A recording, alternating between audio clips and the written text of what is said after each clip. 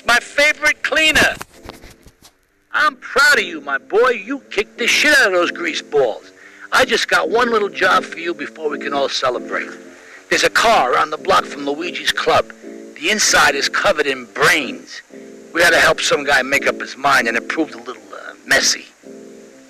Take it to the crusher before the cops find it.